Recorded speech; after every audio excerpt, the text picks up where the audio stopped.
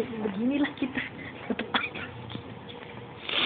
Makanya ke sininya jadi males. Tapi begini juga mendingan di rumah aja ya praktek ya. Kita tidur aja udah.